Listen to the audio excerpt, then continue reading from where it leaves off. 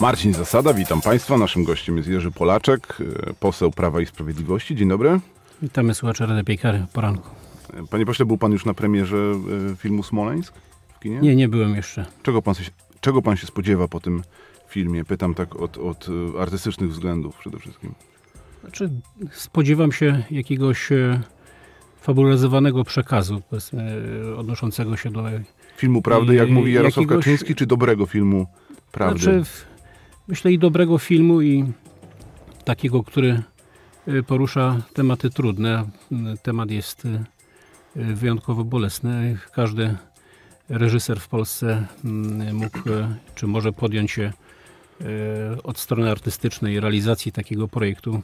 Może ważne w tym projekcie jest również to, że jakaś istotna część środków, które zostały e, uruchomione na jego realizację pochodziła ze składek społecznych, także to jest może też taka wartość, można powiedzieć, e, materialna towarzysząca e, tej projekcji, aczkolwiek mówię, no tutaj każdy z nas jest odbiorcą sztuki, e, filmu i tak dalej i, i E, pozostawiamy po prostu te uwagi. Oczywiście indywidualnej e, ocenie. Indywidualnej ocenie, ale ważne jest to, że będzie pokazany na pokazie ko- pozakonkursowym na e, dorocznym festiwalu w Gdyni. Myślę, że to jest chyba dopiero taka pierwsza e, okazja, w której liczne grono odbiorców, czy powiedzmy krytyków sztuki również i filmu będzie mogło to bardziej sensownie skomentować, bo tak mówiąc troszkę żartobliwie, jakoś było ostatnio bardzo wiele komentarzy w niektórych e, mediach. Wydawało mi się czasami, że większość z e, autorów tych komentarzy nie była To- na filmie, tylko cytowała To, to, swoje uwagi patrząc na zwiastun, a to jest przecież absurd. To prawda. A ile prawdy jest, panie pośle, w obawach marszałka województwa śląskiego, między innymi, mm, że PiS przypuszcza zamach na samorządy. Mm, Regionalne izby, na przykład obrachunkowe, nie działają dobrze, skoro według nowego modelu mm, jej szefowie mają być mianowani przez samego premiera, e, a, a, a oprócz tego będą e, badać nie tylko legalność, ale i celowość wydawania pieniędzy przez samorządy. Czy to jest, powiedział, problem ustrojowy? E, Po pierwsze, warto zwrócić uwagę na to, że dzisiaj głównym zagrożeniem obiektywnie dla wszystkich samorządów szczebla lokalnego czy wojewódzkiego jest to, że po mm, e, ostatnim okresie tego budżetu europejskiego, w którym e, samorządy partycypowały, bardzo znacząca ich część jest w dość trudnej sytuacji finansowej, Rząd wynikając też nie oszczędza samorządów, No, ale- jeżeli chodzi o przekazywanie zadań. Ja E, mówię o tym, że w, w przypadku budżetu państwa jest to w ostatnich 8 latach zwiększenie takiego zadłużenia z 500 kilkunastu miliardów do ponad e, 900 kilkudziesięciu, prawie biliona złotych. No ale po, tutaj pan redaktor zadał pytanie o regionalne izby obrachunkowe. One również przecież spełniają bardzo istotną rolę e, tutaj kontrolną w zakresie Ale to nie, e, legalności wywiązują, nie wywiązują się dobrze z tej roli, skoro chcecie zmienić totalnie model e, funkcjonowania tej, tej, tychże izb? To zobaczymy po prostu, jak e, będzie projekt. Ja uważam, że e, e, budżet samorządów terytorialnych jest jednym z elementów systemu finansów. Ale to wymaga, wymaga on, on jakby większej troski takiej kontrolnej ze strony RIO, nad którą, nad którą to izbą chcecie mieć większą kontrolę sami też? Osobiście uważam, że niezależnie od przyjętego rozwiązania trzeba po prostu wzmocnić ustrojową rolę regionalnych izb obrachunkowych. Mówię z bardzo prostego e, względu.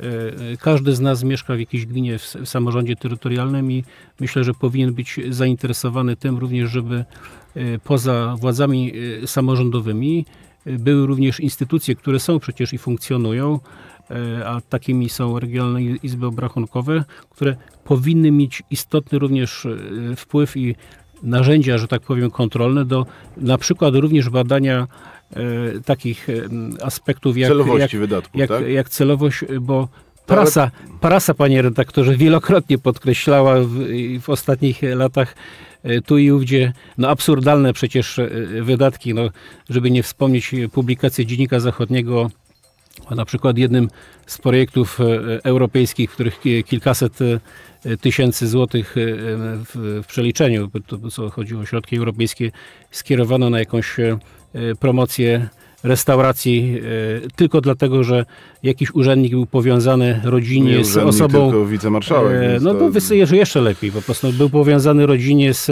z właścicielem tego rodzaju podmiotu gospodarczego. pośle, to, to, to są absurdy po prostu, które, e, których mi się wydaje, e, do tej zmiany również e, dąży opinia publiczna, żeby takich, takich po prostu przypadków nie było. Panie pośle, co się dzieje z ustawą metropolitalną dla Śląska i Zagłębia?